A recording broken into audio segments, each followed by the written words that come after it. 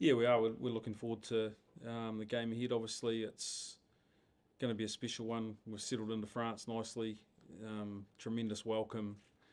Obviously, France as a country are getting right behind the World Cup. It's pretty clear to, to see that around the people of Lyon and how they've welcomed us. So, you know, it's made it uh, an easy transition into France and looking forward to Test Week, which effectively starts today.